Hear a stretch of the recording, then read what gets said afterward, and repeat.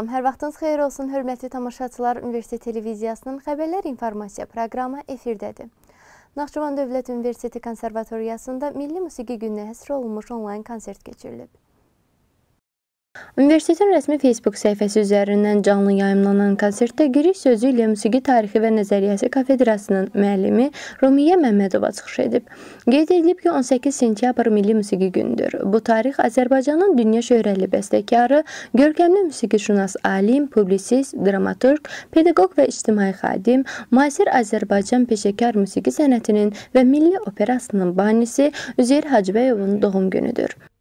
Bildirilib ki, Üzeyir bəy elmi musiqişünaslığın, musiqi təhsilinin əsasını qoyub və ömrünün sonuna dək musiqi mədəniyyətinin inkişafına rəhbərlik edib.